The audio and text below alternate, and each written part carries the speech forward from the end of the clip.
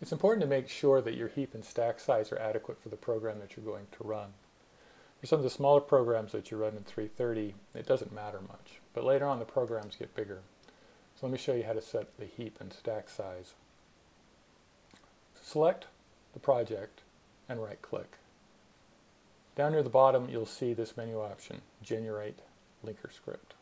Click that, and you'll see that it provides a window with a lot of numbers. Most of them you don't care about. But let's go over to this part here where it says heap size and stack size. Um, these are um, data structures that are used by your program when it's running. Stack size is used mostly for function calls. Heap size is used when you're allocating memory. Mine is set to be right around um, 2 megabytes. There's a half a gigabyte on the board you're using, so you can be pretty generous here. Default will often come up as just 1,000 bytes, which is nowhere near enough.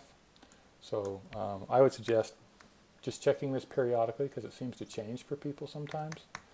And uh, set it up to be about 2 million bytes. You do 2 million and it comes out to be about that. And that should be perfectly adequate. Once you've selected those values and inserted them, you hit the generate button.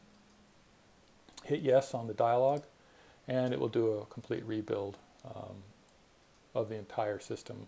This is unavoidable, but you shouldn't have to do this very often. However, every time that you create a new workspace, anytime you essentially recreate the project, the project is this item here, you'll have to go through this process again to make sure the heap is the right size. So that's what you need to do to set the heap and the stack. If you don't do that, uh, your program may run uh, strangely or not at all because it may, won't be getting the memory that it requires.